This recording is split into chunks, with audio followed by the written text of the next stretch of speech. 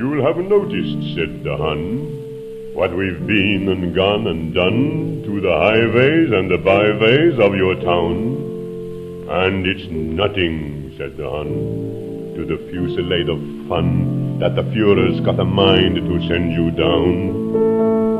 Aren't you staggered? Aren't you cowed? Aren't you praying out aloud? Aren't you dreading every setting of the sun? Aren't you weary of blaspheming at the bombs that come a-screaming? Don't you wish that you were dreaming? Said the Hun. Shut your big blue pencil mouth, said the Londoner. There's a channel to the south, said the Londoner, but the bully who's your boss doesn't dare attempt to cross.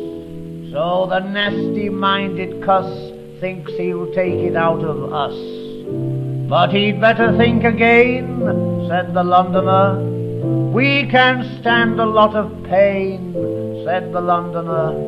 We're not dumb Teutonic mutts. We've the guns and we've the guts. You can tell Adolf he's nuts, said the Londoner. You're forgetting, said the Hun, that your streets are overrun by the hungry and the homeless and the halt. Not to mention, said the Hun, that your buildings by the ton are succumbing to our aerial assault.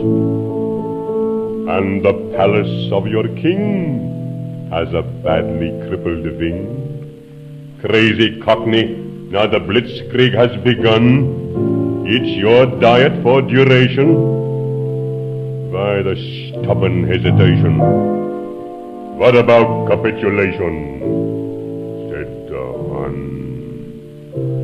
Why, you nasty, Nazi nark, said the Londoner. How you missed the ruddy mark, said the Londoner. All the deeds of which you're proud are but stitches in your shroud. Every little child you slay is a crime for which you will pay.